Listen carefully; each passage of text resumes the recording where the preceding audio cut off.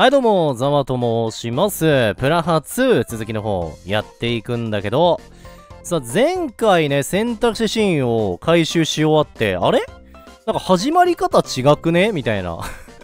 なんか月下の方は月下で、天道の方は天道で、なんかちょっと、あれ？こっちは学校からなのに、天道は家からじゃんみたいなね、感じで、ちょっとね、これ分岐してんじゃないかなっていう感じだったんで、ちょっと調べました。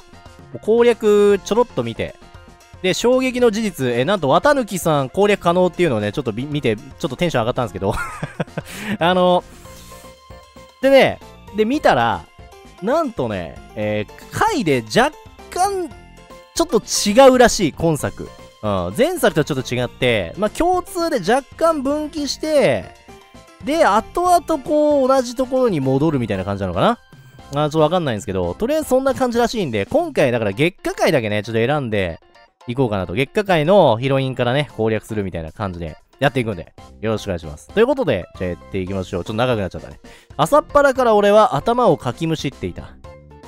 机の上には様々な種類のスマホのカタログが所狭しと並んでいる。おー、スマホね。姉さんが買うことを快諾してくれたのはいいが、カタログを大量に渡されたことで逆に悩んでしまう。あれ、どっちだったっけ？なんか天道の方が、天道の方でスマホの話が出てたんだっけ？あの、確か月下の方はスマホの話題なかったんだよな。あの共通。だからここら辺で若干分岐が入ってんだよな。だからちょっと辻褄合わせみたいな感じになってんのかな？料金プランとか何が書いてあるのかさっぱりだし、そもそも機種の違いすらよくわからん。何うんうんうなってるのかと思ったらスマホのカタログ見てたのね機種編？実は、携帯持ってなくて、初めて買うんだよ。えー、意外今時の学生としてよろしくないよ友達とかできないよ 結構友達いるけどな、それにしては。やっぱ、携帯あった方が気楽に連絡取れるし、コミも取りやすいよな。まあねっていうかないなんてのが考えられないっしょ気があったらすぐに LINEID 送るねってのがデフォだしライヌ。ライヌ。だいぶ遅れてるな、俺。今から文明取り戻せばいいんじゃないかにゃ。ってわけで私のおすすめはウィンコムだね。ウィンコン携帯買うのかだったら断然ドクモがいいって。エクシュペリアマジ液晶綺麗だから。絶妙。毒も、毒もて。読者モデルやないかい。エクシュペリア。バカめ。王道の iPhone 一択だろうが。いやいや、もう、同じやないかい、それ。読み同じやないかい。スペル違うだけやん、これ。あっという間にクラスの連中に席を取り囲まれる。みんな、この手の話題が大好物なのが、みんなガジェット好きなんじゃね共通話題だしあ。ごめんねちょっといいかなどうして？なんだかんだあれだよな。なんか、食べ物の話題といい、この機種の話題といい、なんかみんな、やっぱ関係あるもんな。えー、館林さんが人混みをかき分けながら前へと現れる。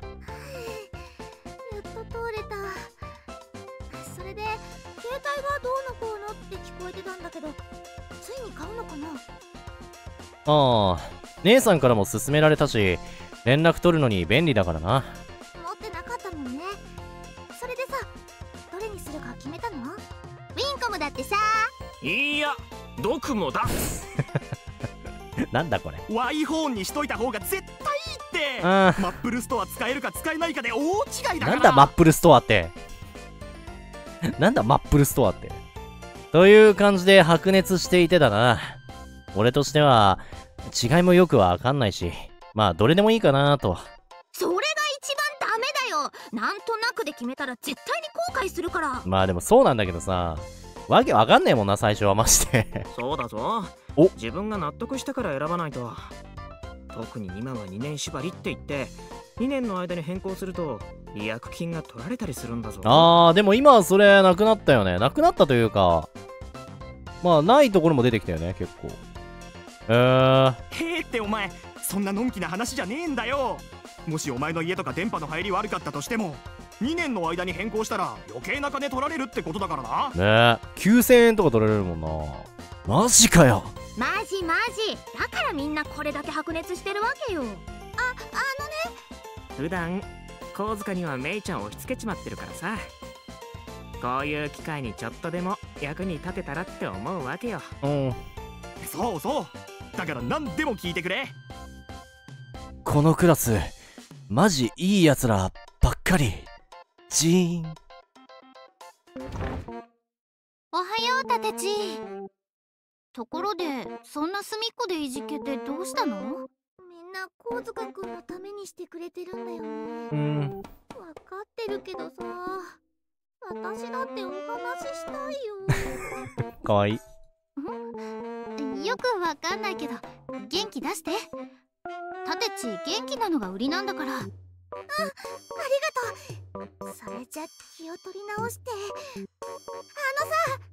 のさお何？この騒ぎ。ってコースか携帯のカタログ広げてるけど買うんだ。すごいな。この人混みの中で譲ってくれたんだな多分。スーッと。そこで私の これ前に立ってんだ。これ本当に。悪気がないのは分かってるけどタイミング良すぎるよ。携帯買うなら私のおすすめはああいうかな。ああいう。山とか行っても電波入りやすいんだ。ああいう。うさぎちゃんああいうだったの？この前ドコモの CM 出てたよね。あ。ごめんね。今の話聞かなかったってことで やばいビッグニュースが。ドコモが一番だよね。バッキュー。ン決めポーズをとってごまかす月夜野それ以上誰も突っ込まないのはある意味こいつの人徳のなせる技。か？うんなんだろうもう圧力じゃね？これはちょっと危ない情報だなみたいな。なあこういうのってある程度知ってる人と一緒に行くのが一番だったりする？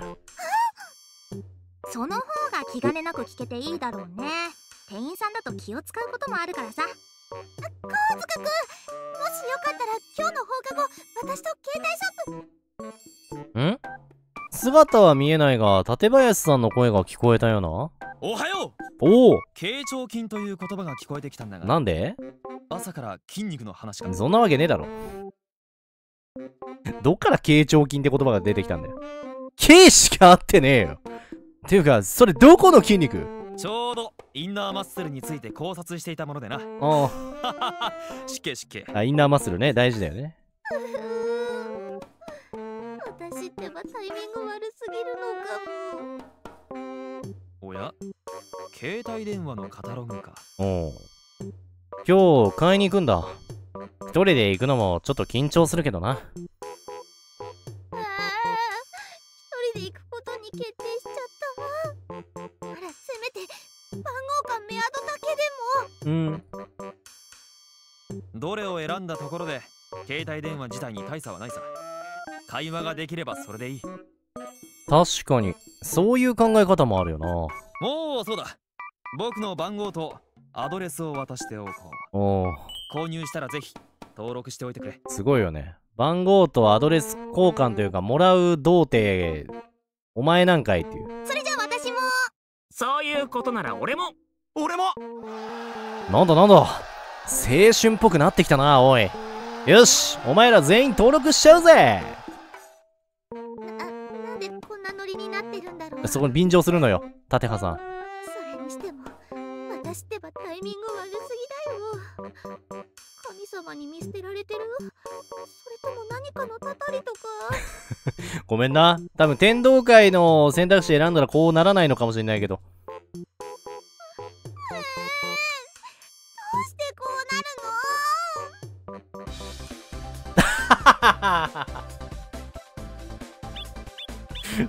なるの？で選択肢なんだ。どうしてこうなるのから選択肢入るんだね。何それ？えー、ということでまああーだから天あれだね天道会もこういうちょっとしたてあれなんだね分岐なんだね。なるほど。だから分岐選択肢分岐みたいな感じ。ちょっとこうちょこちょこ入っていく感じなのかな。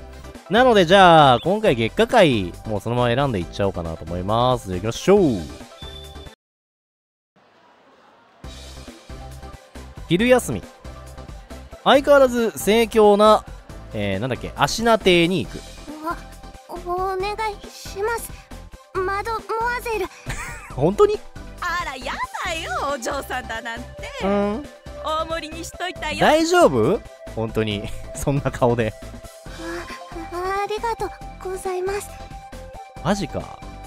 大盛りのナポリタンが乗ったトレイを両手で持ってモコモコさんが列から抜けてくる。うんうん。もう一人でも大丈夫そうだなおい変なこと教えただろマジ。絶対全部食えねえってあれ。よし。今日も来てたんだな。学食のことをお母様にお話ししたらとっても喜んでくれて。うん。それでね今日も練習を兼ねてきたんだ。練習？コールの？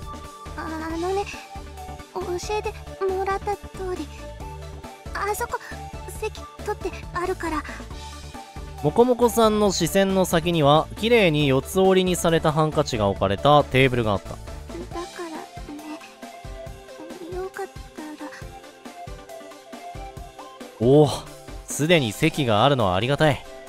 それじゃあ一緒に食うか？うん先に行って待ってるね。嬉しそうにふわふわと髪を揺らしてテーブルに向かうモコモコさんを見送ってから列の最後尾へ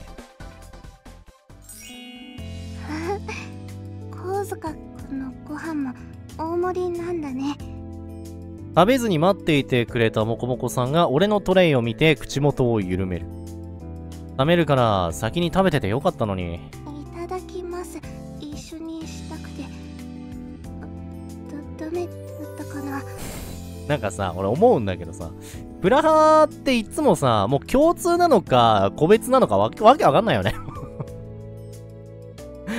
もうすでにさもうアタックゴリゴリ来るからさ共通から。だからもう主人公次第みたいな感じだからさ。何なんだろうねこの感じね。もうほんとモテモテなんだよじゃあ一緒に手を合わせてと。日本式のでいいのか？あんあシュガーどうこうとかそういうのだったりする？作ってくれた人への感謝や食材の命を私の命にさせていただきますっていう。考え方好きだからいただきますの方だようん。そっか。それじゃもこもこさんと一緒に両手を合わせていただきますと声を揃える。それにしてもまさかまた大盛りを頼んでるとは思わなかったぜ。体は小さいけど実は大食い？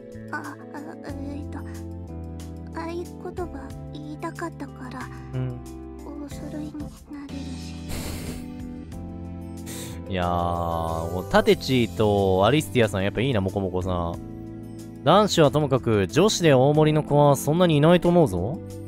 ああのね神塚君とお揃いなの可愛すぎだろ。そ、そっか。な、なんだこの胸がキュンってする感じは。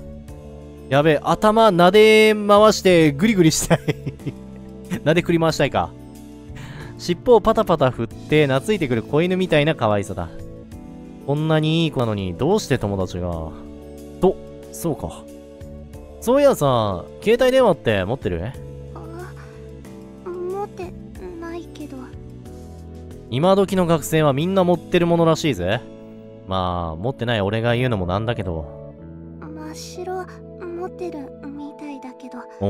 私には必要だと思ったことなくてええ連絡するお友達もいないしマジか。あ、なに、そう、自分、あの、なんか、家のさ、都合で持ってないとかじゃなくて、もう自分で持つ必要ないと思って持ってないんだ。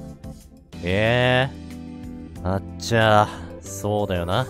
この子が電話やメールする相手なんて、ましろちゃん以外にいないもんな。おい、それ失礼だろ。お母さんお父さんとかするかもしんねえじゃねえかよ。さっきクラスでその話題が出た時みんなが相談に乗ってくれたんだよ。挨拶してすぐにメール交換とかして徐々に仲良くなっていくっていう友達の作り方もあるらしいからきっかけにはなるかもな。そっか。そそういう順番もあるんだね。直接話すのは苦手でもメールなら言いたいことを言えたりする？やったことないからわからないけど自分のペペースでお話できるならいいかもなんか、もこもこさん、あれだよな、メールですげえさ、はっちゃけ出したらさ、面白いよな。イエーイみたいなさ、もう人格がちょっと変わっちゃうみたいな。もしなら遂行できるし急に大声になったり思ったりもないからもこもこさんがワクワクした目でうずうずしていた。俺の余計な一言で傷つけちゃったかと思ったら、実は前向きに解釈してて。だから、誘ってみた。今日、携帯買いに行く予定なんだけど、よかったら一緒に行くか？おー、一緒に買いに行くってこと？いいの？いいよいいよ。もちろん。で、待てよ。家の許可なしでいきなり携帯なんかも買っても平気なのか？あそうだねお母様に聞いてみるねお母様。じゃあ、買いに行くのは明日ってことで。学園の公衆電話からお家に確認するから ちょっと待ってて公衆電話から？そうか、そういうことになるのか、あり、あの、もこもこさん的には。すぐに食べちゃうねすぐ食べられんの？言うなり、口の周りをケチャップまみれにして、一生懸命ナポリタンを食べ始める。それ、もこもこな、その、金髪の髪の毛にぶちまけるんじゃないか大丈夫？なんかもう、返り血みたいになっちゃうよ。ほら、口の周りにケチャップついてる。ポケットから取り出したハンカチで優しくケチャップを拭う。おいおいおい。マジかよ。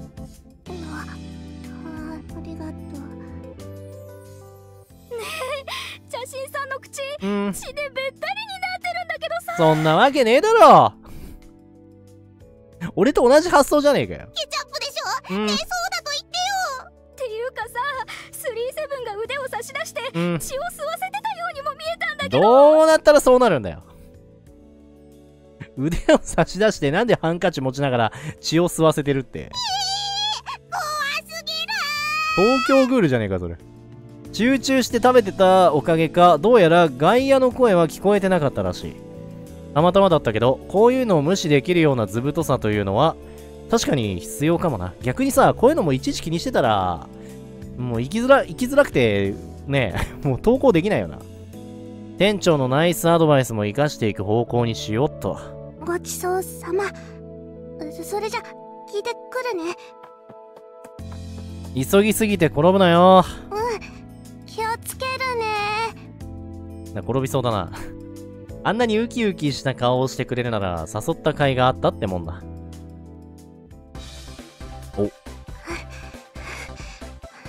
ただいま買っていいって買っていいんだ。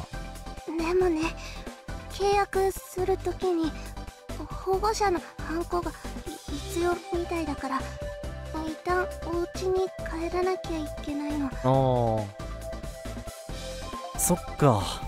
俺は姉さんからすでに書類をもらってるけど、急な話だったもんな。どこかで待ち合わせした方がいいよねましろちゃん情報だと、もこもこさんちの、え、す、さんちって、家の丘、え？えもうダメだ。頭が。ちって、丘の上だったよな。ってことは、近くに待ち合わせるような場所はないし、携帯ショップまでの距離を考えると、ショッピングモールの前に交番があるだろ？あそこならお互いに見つけやすいと思う。うんそれでおお願いします人混みってほどでもなく、かといって閑散としているわけじゃない程度の場所だ。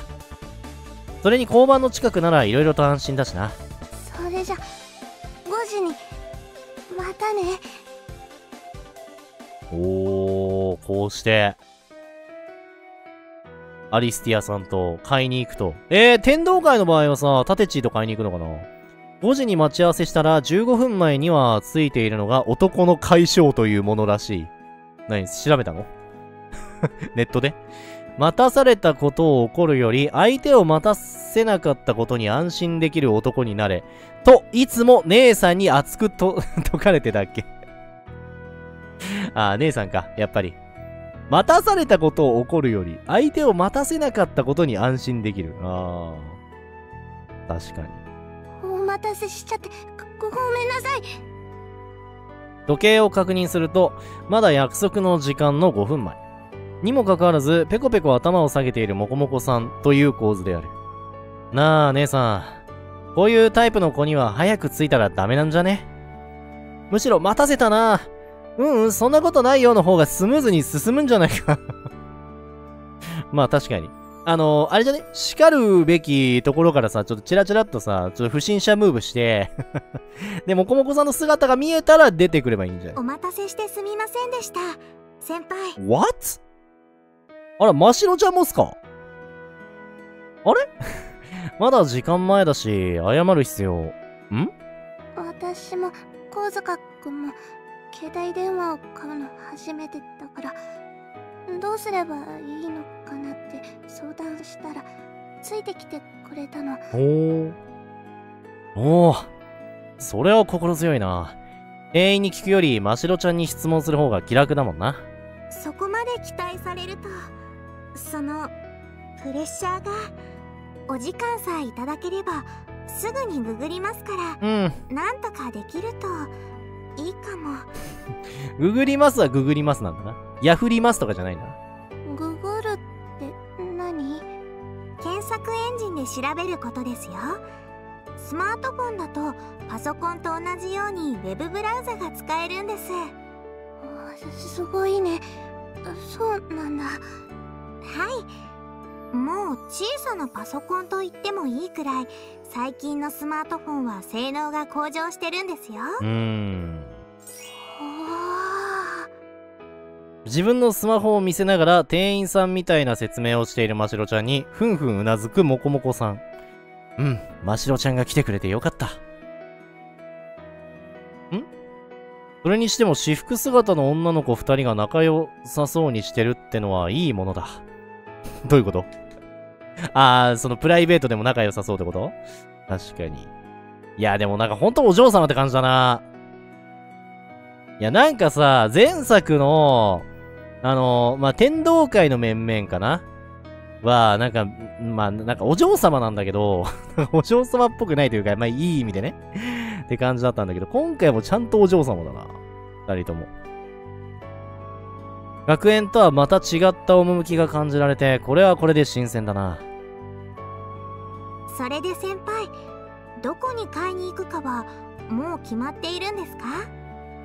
クラスメイトたちからは、ショッピングモールの携帯ショップがいいってアドバイスされたんだけど、合ってる？はいサービスもお値段も問題ないと思いますさすが店員ましろちゃん。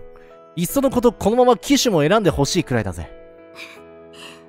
店員さんはそこまで口出ししませんよお客様ご自身でお選びくださいまあでもおすすめはするよね。こいつは一本取られたな。そしてましろちゃんもね、一緒に入ってくると。携帯ショップにそこそこ先客はいたが、愛の島学園の生徒はいないようで、人、ここ、人安心というところ。おー、ここも、まだ健在なんだね。ショッピングモールのこの、この背景というか。さすがにこんな時まで、ひー、写真さんとか言われるのは遠慮したい。あのぬくもりを一切感じさせない瞳うん。子だわもうひいひい言われてるわ。ぬくもりを一切感じさせない。ほんと真っ白だし三白眼だしみたいな感じなんだな。肌が。あー、店員さんが反応しちゃうオチなのか。店員が怯えてなかなか近づいてこないことを逆にポジティブに考えよう。いきなり話しかけられたりしたらもこもこさんも緊張するだろうしな。そういや、最初にキャリアを選ばないとダメなんだっけ？キャリアってドクモかヘイユーかオストバンクが有名どころですがオストバンクこの3社とも料金プラン的にはそれほど差はありませんよ ああいう。オストバンクいいな。え、そうなの？そこが一番重要ってクラスメイトたちに力説されたんだけど。キャンペーン時などには変わりますが今はどこもやっていないようなのでいや、そういう時はもう家族割なのよ、家族割。だから、今回お姉ちゃんと一緒に入るから、お姉ちゃんがどこの会社に、協あのーあれしてるかで、まあ変わるみたいなところあるよね。そう言ってパンフレットを見せつつ説明してくれる。マジで店員さんみたいだ。頼りになるぜ。あとは電波の強さですがこればかりは実際に使ってみないことには何ともじゃあ、フィーリングで選んで問題ない？そうですねお好きな機種でいいと思いますもこもこさんは気に入ったのはあったか？あこの携帯電話ピンクで可愛いねやっぱりピンクが好きなのか。今日の服の色もそうだもんな。あえっとね子供っぽいかなそれがいい。むしろいい。そのギャップがあるから。女の子っぽくっていいと思うぞ。そのワンピースよく似合ってるよ。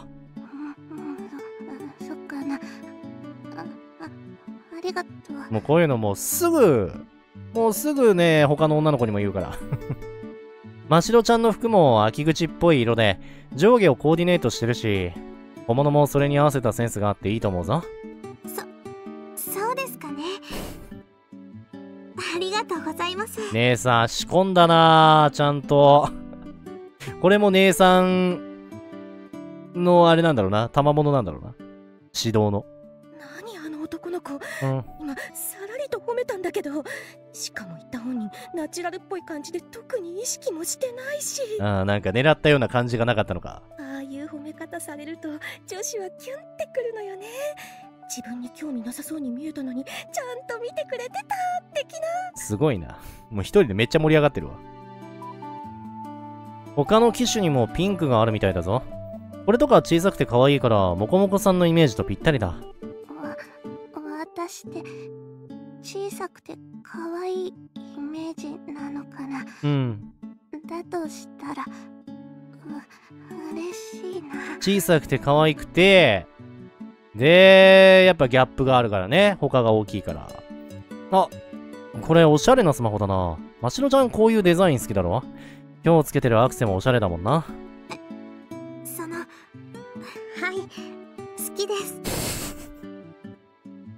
何これ？もうタジタジしちゃってんじゃん。女二人をはべらせながらどっちも持ち上げ続けてるようん。あの男の子ジゴロか何かなの？あの悪魔みたいだった女の子が真っ赤になってカチコチになってるしうん。もう一人の子なんてチラチラ横目でめっちゃ意識してるじゃん余計だよ。悪魔みたいだった女の子余計だよ。それにしても、どれも良さそうに見えて決め手に欠けるな。てかさ、これマジでさ、あの、うさぎさんとかと一緒に来たらどうなるんだろうな。うさぎさんも来んのかな天道会の方選んだら。ちょっとやっちも気になるけどね。真っ白どんなの使ってたっけ？私は4.7インチのスマホですねおー。動画を見たりするときも大きくて便利なんですよおー先輩？打ち震えてますけどどうしました？そんな大切なことを忘れてたなんて。そ、そうか。スマホでは動画が見られるんだよな。なあ。悲しい時、苦しい時、誰かの笑顔が欲しい時。俺の傍らに見放題ああ、もう完全に入っちゃったか。評価ガタ落ちだな、これ。神塚君の目の色が急に変わったうん。パソコンに取り込んで写したりスマホから直接買うこともできますけどよしならば俺は画質と音質に特化したものを買おうと思う。それはどれだ？どこにある？あれ？あの男の子さっきまでのジゴロっぽいオーラが一切消えてうん。オタクっぽい目つきに変わってるんだけどまあ、びっくりするだろうな、これ。まあ、オタクにジゴロ仕込んでも、まあ、あんま意味ないんだよね、でもね。こっち来るだろう。すいません。え画質と音質と音質に特化したスマホをくださいにゃ。かしこまりましたお色はどうしましょうか？フレームが明るいと画面が見づらいし、白はないな。映り込みを考えるとカラーはありえない。金属系ではないグレーが一番適任だが、マットな黒ならば、まだ許せるか？と結局何色なんでしょうか？液晶が一番見やすい色で。そんなの個人差あるでしょうがとか言えないくらい鼻息荒いんですけど。なんてはっきりした意思表示なんだろう。うん。私もああいう風になれるといいな。着眼点。もこもこさん毎回着眼点そういうとこだから。あのアリスティアさん？前から気になってたことがあるんですが聞いてもいいですか？何？アリスティアさんは先輩のことどう思ってるんでしょうか？おお結構行くね。とっても尊敬してるよ。尊敬ですか？お友達が多いのもすごいし運動部と文化部を仲直りさせた件とかキーの時に人をいっぱい呼んでくれたこととかいつもすごいって思うんだ。うん。館林さんとお友達になれたのもそうだし一人でご飯を頼めるようにもなったしとにかく神塚くんのおかげで毎日が楽しいの。ハリスティアさんにとって先輩が特別な人だと感じてたのはそういう方向でしたかそれなら私がもう少し踏み込んでいってもいいですよねありゃお真っ白な、なんでもありません。さあ、早く携帯を選びましょう。ー。なんかさ、このハテナマークのさ、このグイグイグイグイグイグイみたいなやつさ、すげえゾワッとくるんだけど、俺だけ？なんかすごい出てくるじゃん、ハテナマーク。ハテナマークスーみたいな感じじゃないじゃん。ぐ、ふわふわふわふわふわって出てくるからさ、なんか。大量に出てくるから、すげえゾワッとする。たく、携帯電話を選ぶのも楽じゃないな。機種選びだけでも難航したのに、いざ契約の段階になったらなったで、歴史小説より細かい字の書類を押し付けられるとはあれな。あんな全部読めるかってんだよな。なんか要点だけまとめてさ、これこうですか？チェックみたいなのあるけど。一応口頭でも説明は受けたが、ぶっちゃけ頭にほとんど入って、あ残っていない。とはいえ、これで美穂野にいつでも会えるわけだ。家に帰ったら早速主題歌集を取り込んで、ふふふ、こいつは盛り上がってきたぜ。嬉しそうですね、先輩。おうよ。見てくれ。これが俺のスマホだ。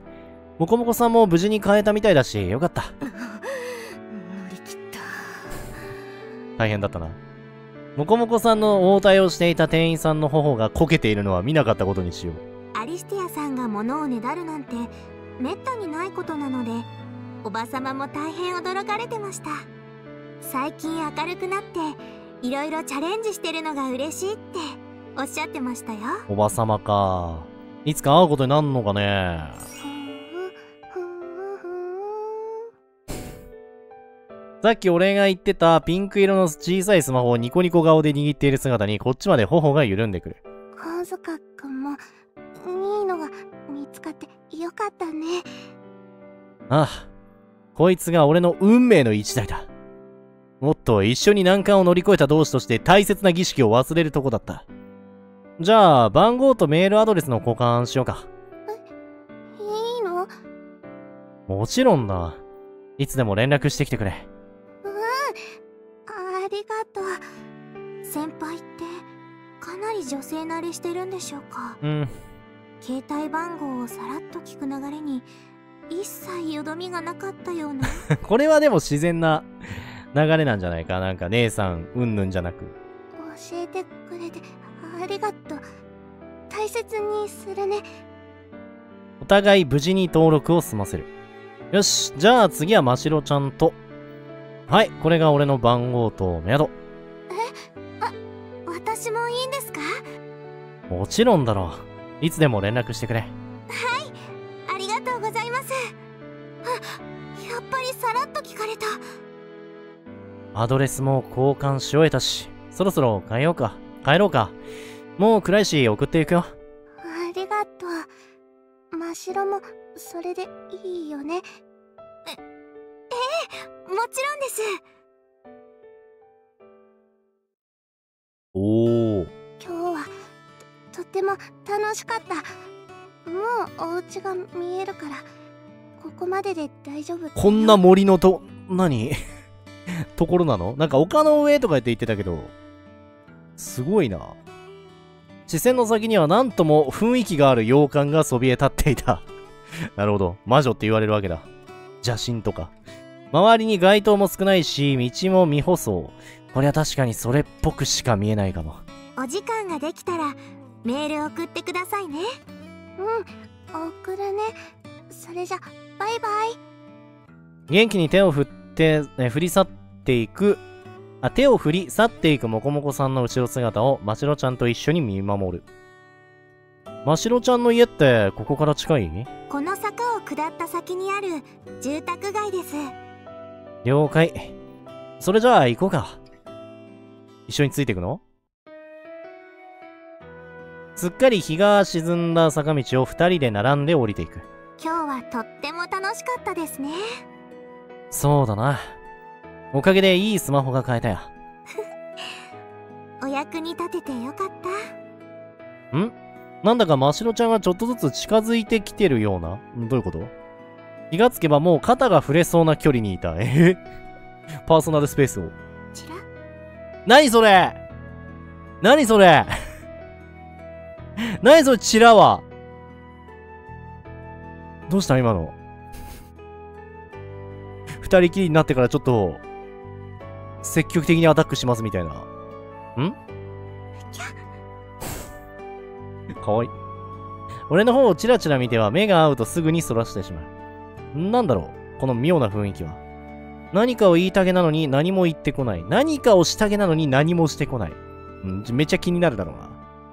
状況を踏まえて、よく考えろ、俺。街灯も少なく薄暗い坂道。うん、怖がるのも無理はないか。さっきはもこもこさんの手前、怖がるわけにはいかなかったってところだろうな。そうか。まあそういうことにしとけ。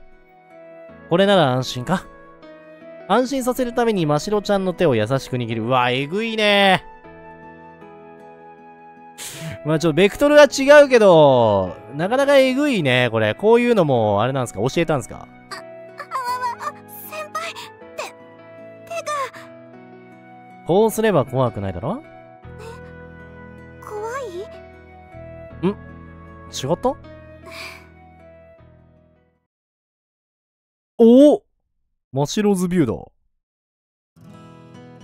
先輩がかけてくれた言葉があまりに意外で一瞬硬直してしまった。私なりにもうちょっと先輩と仲良くなりたくてアピールしてみたつもりだったんだけど全く通じてなかったみたい チラチラして。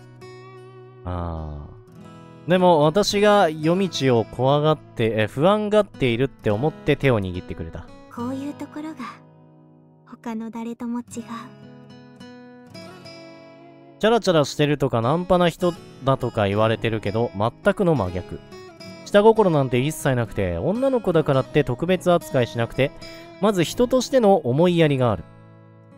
急に手を握ったりしたらびっくりするよな。そそんなことはありませんよえっ、と暗いとつまずくかもしれませんしこのまま繋いでてくださいそう伝えると、繋いだ手に優しく力を込めてくれる。あったかい繋いだ手から先輩のぬくもりが伝わってきて。ドキドキしてるけど、それ以上に先輩の優しさが嬉しくて。歩くペースや歩幅までちゃんと私に合わせてくれてるさっきの携帯番号をさらっと聞くところとか、こういうところとか、やっぱり先輩って女性慣れしてるのかなって思うんだろうな。まあ、それだけ教育が行き届いてんだな。私なんて男の人の手を握るのもこれが初めてなのにありゃ。おお、すっげえ、星が綺麗だな。星？またもや突然の切り返しに戸惑ってしまう。見てみなよ、空。すっげえ綺麗だから。おお。隣にいる先輩に釣られて見上げると満天の星空。月じゃなくてよかったわ。まあ、月が綺麗みたいなくだりが、まあ前作にはあるんですけどね。今にも降ってきそうなくらいの大パノラマに思わずため息が漏れる。すごいこの辺りは暗いから星もよく見えるな。ええそうですね手が届きそうなくらいですほら、暗い道も怖いだけじゃなくていいこともあっただろ